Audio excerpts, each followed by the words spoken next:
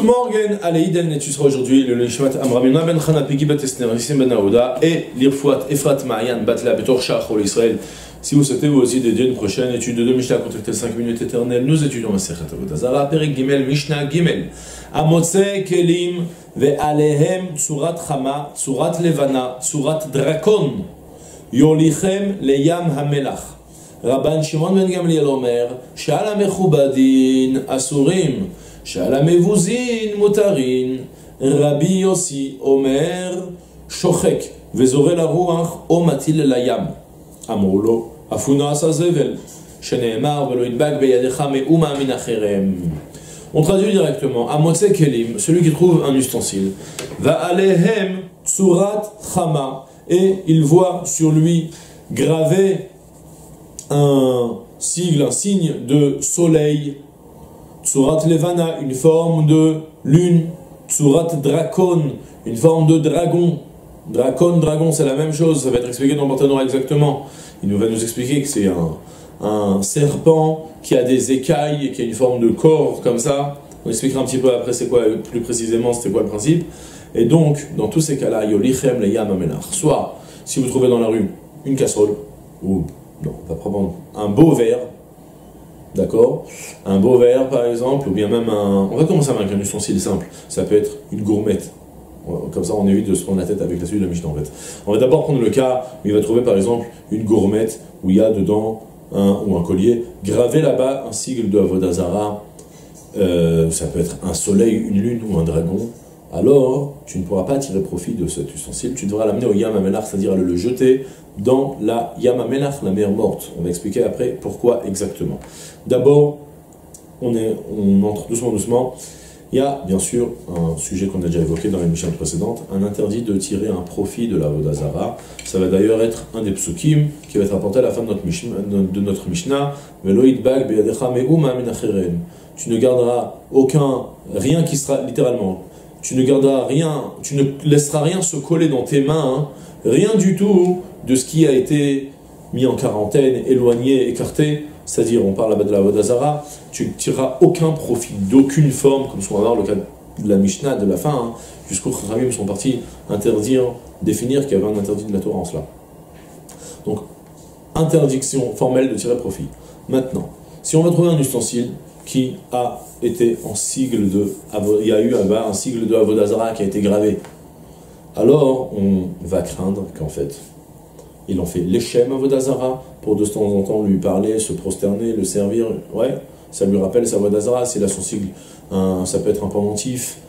Alors, dans ce cas-là, euh, interdiction formelle d'en tirer profit, il faut l'exterminer. L'exterminer, ça implique pour le moment il y aura une petite discussion ensuite sur ça justement, mais pour le moment ça implique d'aller le jeter au Yamamelach. Yamamelach, la mer morte, vous savez bien, on ne peut même pas faire de plongée là-bas pour, aller pour, aller le récupérer dans le fin fond. De ce fait, tu vas, te l'exterminer. On apprendra encore d'autres procédés d'extermination ensuite. D'abord, on apporte une petite précision maintenant. On a parlé d'une forme de soleil, une forme de lune. Peut-être que c'est quelqu'un qui aime bien le soleil, un, astrologue, un astronome, je ne sais pas moi. Pourquoi aller dire que c'est forcément un, un idolâtre païen qui sert la Vodazara sur ça, le partenaire rapporte. Le Rambam explique qu'on parle, attention, on ne parle pas que c'est un soleil, juste un soleil. On parle qu'il y a un signe qui nous montre que c'est quelqu'un qui sert le soleil. Comment Il a fait un soleil installé sur un trône qui domine le monde. Il a exprimé par là que le soleil, c'est la superpuissance qui dirige le, monde, qui, qui règne sur le monde, par exemple. Alors là, dans ce cas-là, c'est un signe formel que même d'après tous les avis de la Mishnah Aleph, pour ceux qui s'en souviennent, même s'il n'a pas dans les mains, qui tient le monde ou peu importe, le simple fait qu'il a fait, qu'il a montré là-bas, ou bien ce, sont ce soit, c'est un sigle mais, attesté que ça provient de la Vodazara, dans ce cas-là, c'est sûr que euh, ça, c'est de la Vodazara, de ce fait, on n'a pas le droit d'en tirer profit. D'accord? Sur le dragon, le dragon, là, le fameux dragon, c'est expliqué, donc en fait, c'est un serpent, comme ça il rapportait un serpent qui a des, qui a des, des écailles, qui a un corps, il y en a qui prétendent qu'il provient de la, qui provient de la Lune. C'est un, je sais pas, le reptile qui règne sur la Lune apparemment. Initialement, à notre époque, aujourd'hui le dragon ça plus la même. Euh, aujourd'hui c'est juste un, de la mythologie grecque, je sais pas exactement, on n'en fait plus des dieux, donc il n'y a plus cette loi particulière. Mais à l'époque où il y avait encore la Vodazara, où il y avait des gens qui pouvaient servir la Lune ou, servir, servir le, le, ce, dragon-là. Donc, bien sûr, c'était la Vodazara. Ce que je vous rajoute, c'est dans, le Tiferet Israël, Hot Yudbet, il dit Bismanazé, on ne fait plus d'Avodazara avec toutes ces choses-là. De ce fait, si vous trouvez un ustensile, vous, êtes, vous pouvez en tirer profit. Si c'est de l'or, allez le revendre au poids, il n'y a aucun problème, vous avez le droit de le garder. Ça, c'est pour notre époque. En tout cas, on continue la Mishnah maintenant. On a fini la première partie de la Mishnah d'abord, qui nous dit qu'il faut l'exterminer. On va découvrir sur ça deux discussions. Tout d'abord, définir quel type d'ustensile. Ça, c'est Rabban Shimon Ben Gamliel qui va venir nous apprendre quelque chose. Et la lacha va être fixée comme ça, justement. Rabban Shimon Ben Gamliel Omer, She'ala Mechubadin Asurin, She'ala Mevuzin Mutarin. Rabban Shimon Ben Gamliel nous dit si tu trouves cette forme, ce signe, sur un ustensile de, qui est Mechubad, honorifique, honorable, comme on a dit, une gourmette, un, objet comme ça qui témoigne de la valeur de la chashivut, de l'importance, alors dans ce cas-là, ce sera assourd. Par contre, si c'est chez Alamevozine, un objet qui est bénin, simple, une casserole, euh, un verre, alors peut-être qu'il a fait un sigle là-bas de Avodazara, mais c'est sûr, il est certain. Alors c'est un peu délicat comme expliquer. D'abord on explique le principe général, après je rajoute tout ce que le Tiferet a dit. Le principe il est que si c'est sur un objet bénin qui, est sans valeur, il a fait là-bas un sigle de Avodazara, ça n'a aucune valeur de Vodazara, il n'est pas en train de se prosterner devant sa casserole, sur, la petite tête du boudou qui est dessinée sur sa casserole, c'est pas le, c'est pas le but, c'est, pas, sûr qu'il n'a pas fait les schémas Vodazara. Alors pourquoi il a fait Aucune idée? Peut-être qu'il voulait s'entraîner à tester ce qu'il était capable de former une Vodazara, ou peut-être que je ne sais pas trop quoi. Mais en tout cas, si c'est un ustensile qui est mévousé, bisaïon, qui est honteux, bas, répugnant, sale, quelque chose qui est toujours sale avec des restes de nourriture dedans, comme une casserole, alors dans ce cas-là, il n'y a plus de Avodazara. Le Tiferet d'Israël rajoute maintenant quelque chose de plus euh, aiguisé. Ça touchera la prochaine Mishnah en fait. C'est que une notion qu'on a déjà quand même évoquée, que le goy a la possibilité d'annuler la Avodazara. On apprendra par exemple dans la Mishnah, s'il fait une Avodazara, puis après il transforme ça en toilette. Sans arrêt, il va devant, c'est pas Baal. Ouais, on expliquera, on reviendra plus dans les détails. En tout cas, c'est une Avodazara qui est normalement honorable. Et puis il l'a faite, et puis finalement il l'utilise, euh, il, a mis, il a mis aux toilettes. Alors c'est sûr que cet Avodazara, c'est pas une Avodazara. C'est juste un. Il a annulé, c'est-à-dire il a eu la capacité de l'annuler. Selon le même principe, il explique le Tiferet d'Israël ici, que si c'est sur un ustensile bénin, sans importance, euh, à la limite euh, honteux, quoi, alors, alors peut-être qu'il a fait une forme d'Avodazara, mais il l'a annulé directement aussi, donc ça n'a plus de valeur d'Avodazara. On continue maintenant la Mishnah. Donc pour le moment, et la halakha est fixée comme ça. Pour le moment, on a juste appris on fait le point, quel type d'ustensile sur lequel est gravé la Vodazara hein, devient interdit, c'est-à-dire, donc ça dépend de ça, dans quel cas on considère qu'il a mis une importance de la Vodazara à la forme qu'il a donnée, ou est-ce que ça n'avait pas forcément un statut de la Vodazara. Deuxième partie de la Mishnah, maintenant, on revient sur le détail qu'on expliquait qui devra Yolichem le Yam Il devra l'apporter au Yam à la mer morte. Rabbi Yossi, lui, a un autre procédé. Rabbi Yossi Omer, Layam. Il n'est pas obligé de se fatiguer à partir en vacances à la mer morte. Ouais. Il peut tout simplement être Shochek, la briser, l'effriter. Si c'était par exemple quelque chose qui est fritable, c'était du un pot euh, en argile ou peu importe. Alors il la brise en petites miettes, Vezorel la quand il y a beaucoup de vent, il la jette en l'air et puis il laisse le vent tout emporter. Shochek, donc il, il euh, mou il tochen, il broie, et ensuite Vezore la roar, et il le jette au vent, ou bien au matil layam. Il peut même aussi le jeter à la mer. Donc deux procédés. On va apporter plus de détails ensuite, mais d'abord je finis vite pour d'abord bien comprendre qu'est-ce que Khamim, sur quel point Khamim ne vont pas être d'accord. Amroul au Khamim l'ont rétorqué en lui disant Ça marche pas cette histoire, tu peux pas le jeter au vent. Afhu naasa zevel. Ça va, dans ce cas-là, si tu lui permets de le jeter au vent, il est possible que ça va devenir du zével. Du zével dans la Torah, hein, c'est un engrais naturel, un engrais chimique. Aujourd'hui, quand, on parle de zével, de poubelle, c'est parce que les la matière organique, quand elle pourrit, alors ça, sent mauvais.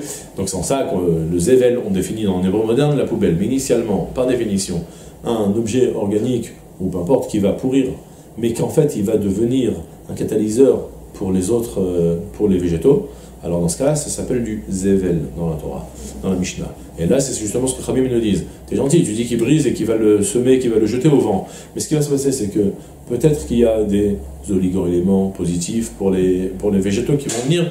Et quand le vent va les apporter dans le champ d'un juif qui habite à côté, ça va l'aider à lui faire pousser ses fruits et légumes.